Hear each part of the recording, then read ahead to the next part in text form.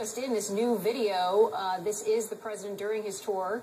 Uh, he was in Tuscaloosa, and that is where he was before he's planning to head uh, to watch the uh, the shuttle launch. Now that it's been scrubbed, but that was the original plan. So let's uh, let's listen to what he had to say there in Alabama.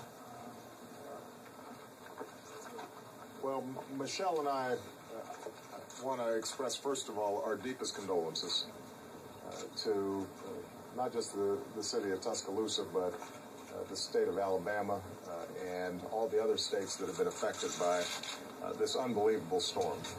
you know, we just took a tour, and I, have got to say, I've never seen devastation like this. it is heartbreaking. we were just talking to some residents here who uh, were lucky enough to escape alive but have lost everything.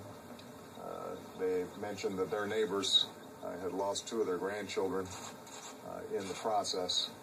Uh, what you're seeing here is uh, the consequence of just a few minutes of this extraordinarily powerful storm sweeping through this community.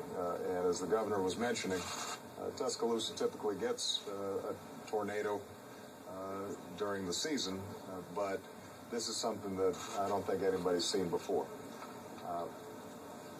Uh, in addition to uh, keeping all the families who've been affected in our thoughts and prayers, uh, obviously our biggest priority now uh, is to help this community recover. Uh, I want to thank Mayor Maddox for his extraordinary leadership.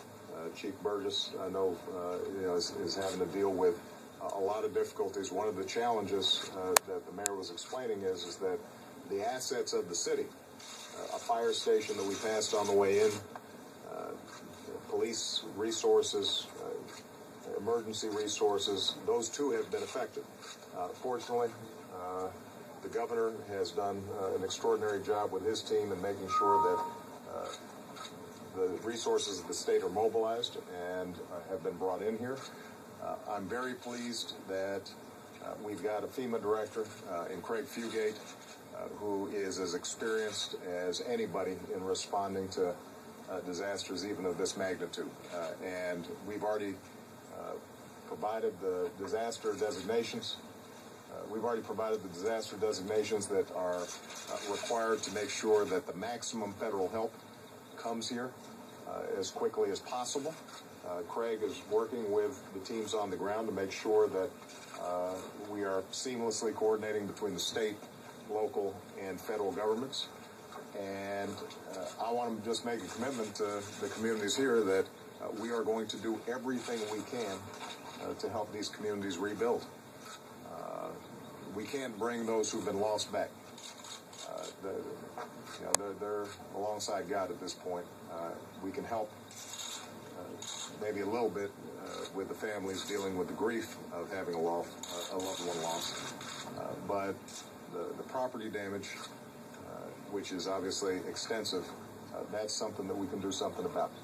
and so we're going to do everything we can to partner with you, Mr. Mayor, with you, Governor. as the Governor is pointing out, this community was hit as bad as any place, but there are communities all across Alabama and all across this region that have been affected, uh, and we're going to be making that same commitment uh, to make sure that uh, we're doing whatever we can to make sure that people are okay. Um, that, that, that B likes it. It's a war. It's a war. Uh, it's on you. You stay, you stay still. Okay. Got it. There you go. No, he got him away. I got him. I got him. I got him off my Where's the Secret Service? Yeah, um, finally, uh, let me just say this. Uh, as, as you walk around, we were just talking to uh, three young people over there, college students uh, here at uh, the University of Alabama, uh, who are volunteering now to help clean up. One of the young ladies there, she actually lived in this apartment, wasn't here at the time the storm happened. what you're struck by is people's resilience and the way that the community has come together. And obviously, that's testimony to leadership of the governor and the mayor, uh, but it's also inherent uh, as part of the American spirit. We go through hard times, uh, but no matter how hard we may be tested, uh, we maintain our faith uh, and we look to each other to make sure that we're uh, uh, supporting each other and helping each other. Uh, I'm sure that that spirit is going to continue uh, until this uh, this city's all the way back. So, uh, Mr. Mayor, uh, he, he he was pointing out that there's a lot of national media down here now, uh, and the mayor expressed the concern that uh, perhaps uh, you know the media will move on uh, in a day or a week or a month, and that uh, folks will forget what's happened here. Uh, and I wanted to assure him that the American people all across the country are, are with him and his community, and we're going to make sure that uh, you're not forgotten and that we do everything we can to make sure that we've rebuilt. So, uh, with that, uh, Governor, would you like to say a few words? Uh, I would, and Mr. President, I, I would like to uh, personally thank you and and uh, Mrs. Obama for coming and, and visiting Alabama. And because you know, as you fly over this, and I, I did yesterday, as you fly over from there, it does not do it justice until you're here on the ground. And and I just want you to know how much I appreciate that. We asked for, we we mobilized the state. We declared a state of emergency early on, even before the first uh, tornadoes hit.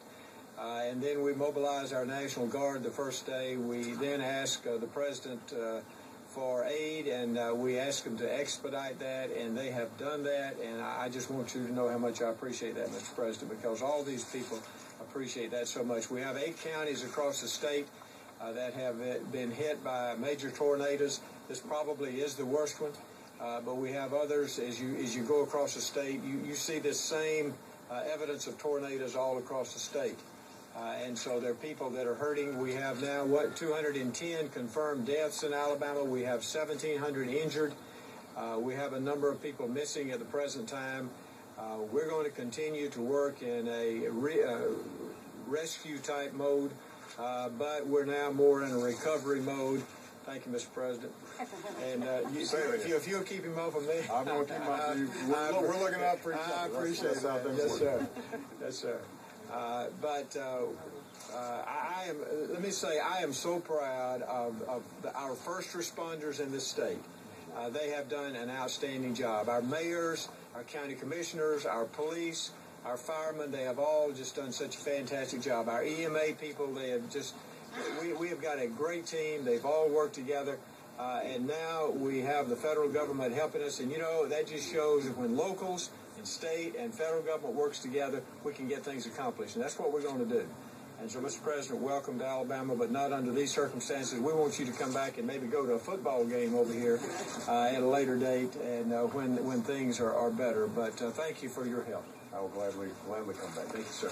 Mr. Mayor, I'd like to say a few words. Mr. President, Governor, Ms. Obama, thank you for coming today.